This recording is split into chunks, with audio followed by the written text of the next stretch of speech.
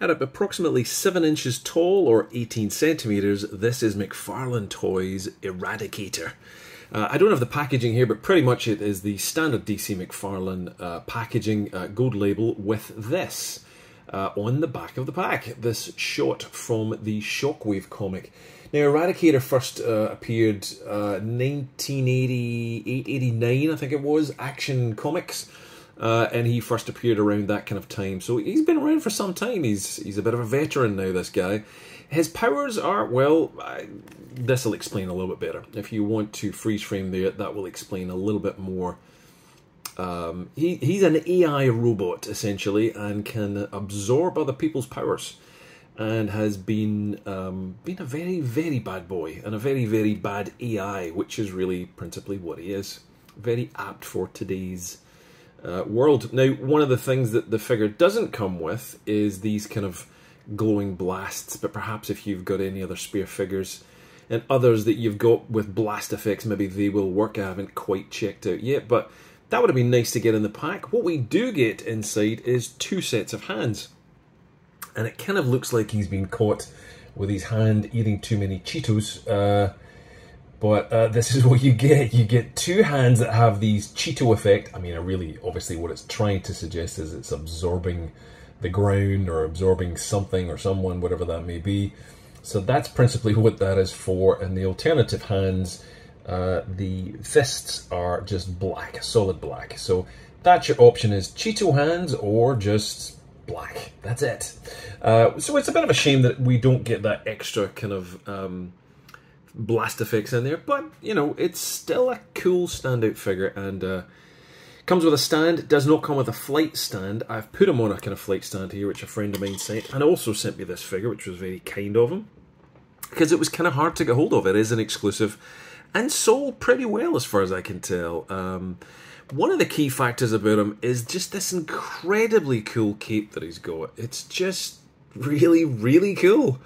Uh, very well sculpted and off to the side, obviously. It allows you to pose and put Eradicator's arms through the air and just have that kind of ripple effect, which, to be fair, we don't really get on a lot of action figures these days. So um, it's normally always just so the figure can stand. So a very dynamic cape is what we've got here. Lots of sculpting and concave kind of shadows coming out of it. It's it's a really really nice cape.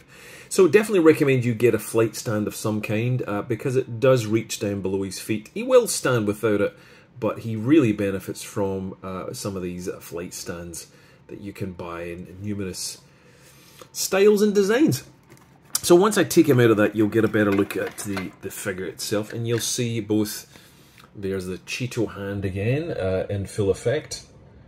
Yep, too many potato chips for this boy um, and the other alternative fist there. So that's the two sets of hands you get. In terms of that facial sculpt though, it's so 80s and just classic kind of Schwarzenegger Superman style. It's just wonderful. And of course the big, incredibly ridiculous uh, shades on him. It just looks great. Quite why an AI superpowered robot needs AI? Who knows? Sorry, needs needs sunglasses. Who knows? Uh, he's still got the flick of hair there to kind of uh, indicate he's absorbed Superman, I guess. But this is what it is. And of course, he's got the giant Superman logo on the chest, which is nicely designed and raised out of the body rather than painted on, which gives a nice effect. Look, there's lots of nice sculpting in it, lots of ripples and muscles and suit details. Uh, I'm not quite sure of the parts and pieces they have reused maybe a bit of Batman here, a bit of other Superman here and there, but uh, ultimately it's still a really, really good figure. Um, there's not much on the figure other than the blue and the black. That is really it all the way down. So you don't get any other detail. There's no tonal shading, no nothing. It is what it is. But it's still a great looking figure. And again, I think in part, part, partly, I'll get my tongue tied in here, partly because of this incredibly cool cape. It just it's dynamic, it's posed, it's flowing, it looks great. So that is Eradicator. There's not much else to tell you about him, uh, but in terms of articulation, he does have a, a really limited uh, ball joint on that head, so you're really getting side to side and very little up and down. That's it, not much more. Uh, like all McFarlane figures, or most McFarlane figures, it's got a kind of fake butterfly joint in the arm. which leads down to that ball joint, uh, which then gives you a bicep, Second bicep sort of in there. Yeah, there's a bicep swivel. Uh, then down to double joints at the elbows, and then you get that ball joint on the wrist, which allows back and forth as well as complete swivel. Now, the upper ab crunch doesn't really do anything. There's not a great deal going on there. A little bit of back, a little bit of forward, but that's it. The waist uh, here is a little bit, there's a little bit more in articulation in there to give you a bit of maneuverability. And of course you can rotate them round, but of course you then lose that, that weird effect of kind of weird disjointedness there, but that's the way it is.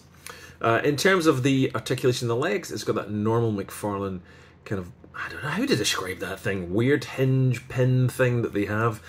It does allow lots of flexibility in movement and rotation, so it's not a bad uh, joint.